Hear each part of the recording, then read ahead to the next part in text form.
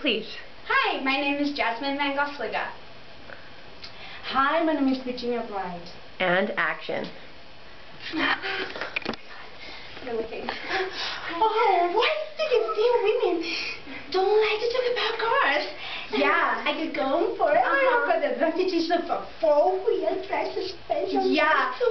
Or, or like, um, the, uh, uh, cruisers, no, um, like, the cruiser's horsepower, or like, the torque ratio Yeah. of a, of a motorbike. Yeah. Yeah. Everything. Yeah, everything, everything. they can hear us.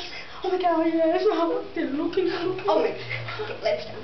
Oh. Uh-huh. Um, another thing that I don't understand is um, why guys like expect us to order a drink with like Yeah. an umbrella.